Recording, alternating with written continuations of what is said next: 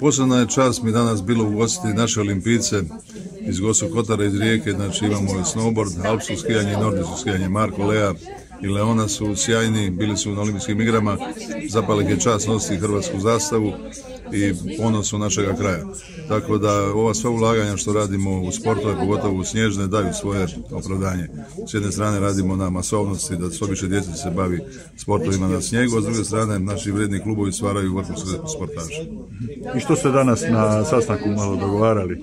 Pa gledali smo kako zapravo revitalizirati što više sanjkališta i skijališta. Znači, urediti onaj dio koji danas klimatski više ne ide s prirodnim snijegom, tamo rješavati imovinske pravne odnose jer su problemi sa vlasništvom, tako da na više mjesta, znači u Čabru, u Delnicama, u Ravnoj gori, Mrkoplju i u Vrbovskom, sve naše goranska mjesta bi trebala imati jedno moguće manje skijalište da klince, ali za treniranje u prilikama da se ne mora ići uvijek negdje u inozemstvu.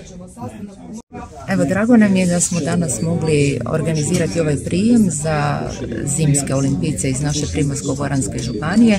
Zaista smo ponosni evo da je na olimpijskim igrama smo imali tri predstavnike i to u tri različite sportske discipline, u alskom skijanju, u trčanju i u snowboardu. Velika je čast doći samo i na zimske olimpijske igre, norme su zaista zahtjevne, tako da evo, iskrene čestitke svim našim olimpijcima i veselimo se još i većim uspjehicima u budućnosti.